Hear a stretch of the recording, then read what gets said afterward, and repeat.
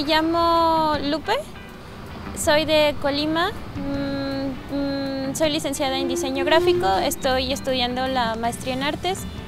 Eh, vine aquí a vivir hace un año para poder estudiar y la ilustración ha sido algo que me gusta desde que lo recuerdo. Es una habilidad que, que tengo desde hace tiempo y que comencé como a pulirla desde muy pequeña y fue algo que me convenció para dedicarme el resto de mi vida.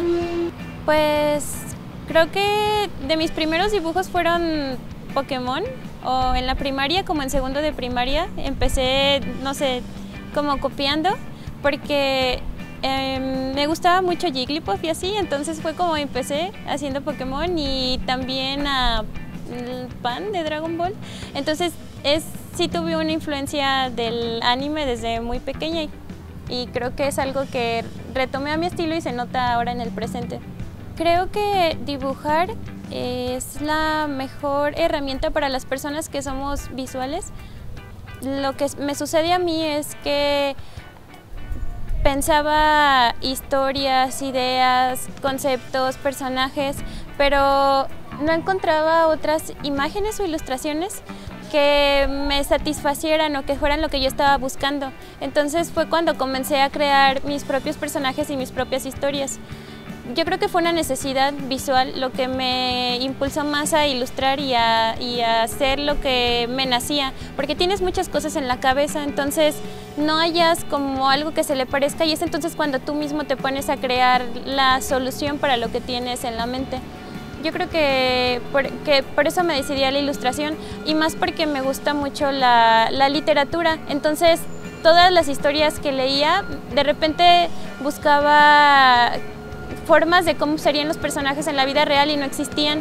Y entonces es cuando yo misma me empezaba a hacer como en la mente una, la forma en que era el personaje y después lo hacía en ilustración, como para darle una interpretación propia a las novelas, una forma de hacerlo más personal, como más, más mía.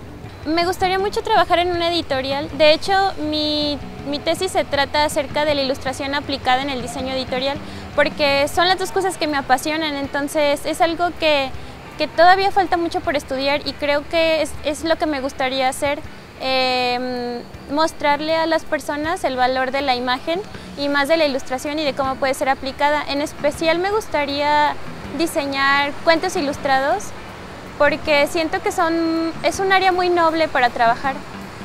Te da, hay mucha libertad creativa y mm, yo creo que es 50 y 50 a veces la importación del ilustrador y del escritor. Mm, yo creo que es una evolución porque hay que trabajar mucho y practicar mucho para tener un estilo porque tú mismo vas tomando elementos visuales que te gustaría resaltar y entonces todo se vuelve una mezcla y es todo un proceso, no, no tener un estilo no es de un día para otro, son años de trabajo de conocerte a ti mismo y de conocer tu trabajo para lograr fusionarlos y hacer algo diferente.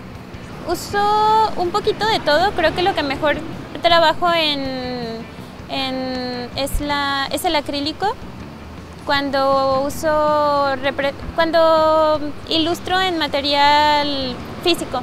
En digital utilizo Photoshop y yo creo que sí influye mucho tu vida personal y como la perspectiva que tienes de las cosas y de la vida. Por ejemplo, a mí me gusta mucho dibujar formas y personajes femeninos porque finalmente es un reflejo de mí misma y en ocasiones me gusta mucho retratar a mi familia, a mis hermanas y están como, como siempre están presentes en mis ilustraciones. Y respecto a la gama cromática, yo creo que también depende de la temporada, pero en general me gusta mucho recurrir al azul, siento que es un, elemento, un color muy muy noble, puede ser fuerte, puede ser ligero, puede balancearse entre ambos, puede ser muy oscuro y puede ser muy brillante. Siento que es un recurso que me gusta mucho utilizar. Hoy no sé, quizá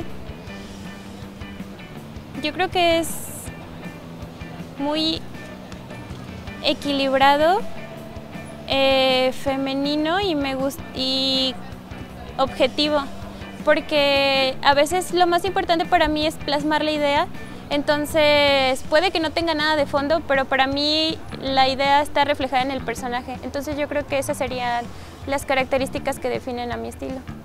Sobre los recursos yo creo que debes de elegir las herramientas con las que te sientas más cómodo. Em, pueden ser las tradicionales o las digitales, pero creo que la herramienta es solamente un medio, entonces tú eres el que tiene que decidir em, qué tendencias quieres tomar o cuál es tu objetivo. Siempre utilizar las herramientas como un medio y practicar mucho, porque puedes tener la herramienta más moderna del mundo, pero si no la sabes utilizar no tiene caso. Entonces creo que lo importante es eso, conocer la forma en que trabajas, cómo utilizar el material y si te sirve y practicar. Es una mezcla entre, los dos y no es fácil, es defender algo que ha sido marginado durante años y demostrarle a los demás que confías y que te gusta lo que haces para que los demás crean en lo que haces. Entonces, en el momento que tú tienes fe y crees en tu habilidad y en tu profesión, los demás empiezan a darle el valor. Primero hay que valorarse uno mismo como profesional para que los demás también valoren tu trabajo.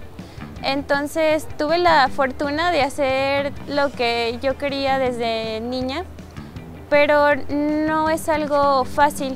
Tienes que buscar y tienes que, ¿cómo decirlo?, adaptarte al entorno. No esperar a que las oportunidades lleguen, buscar en qué lugar puedes encajar con las habilidades que tienes.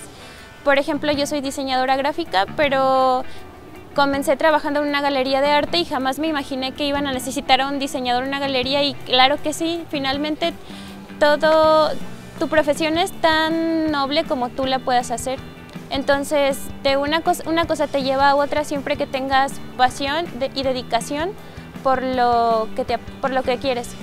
Mm, lo que yo hago en ilustración, trabajo por comisión, entonces la ilustración lo que hace es responder a una necesidad de comunicación de otra persona. Entonces viene conmigo un cliente y necesita una imagen que, que ejemplifique lo que él me dice.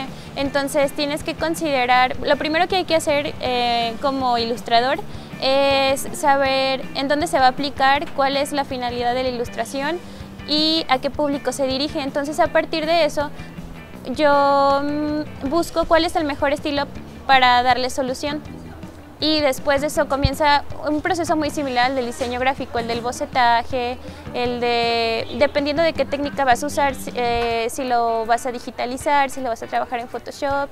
Entonces, creo que lo más importante es entender la necesidad del cliente y a partir de eso el proceso puede cambiar dependiendo de cada persona pero básicamente creo que es los puntos que yo resaltaría más al hacer ilustración.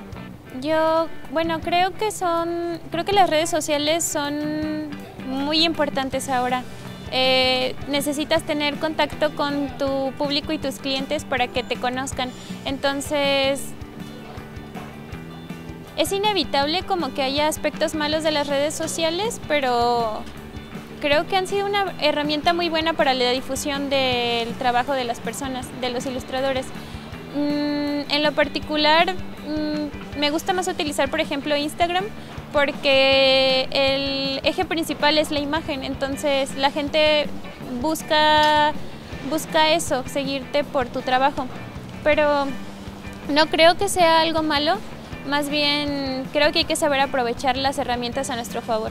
Me gustaría combinar la investigación con mi trabajo de ilustradora, entonces quizá me dedicaré un poco más a eso mm, y hacer material académico de ilustración porque haciendo mi investigación me di cuenta que no existía mucho, entonces quizá trate de hacer como una mezcla de ambos y también llevarlo a la par con lo de la trabajar por comisión de ilustración, pero quizá el rumbo que tome sea ese después.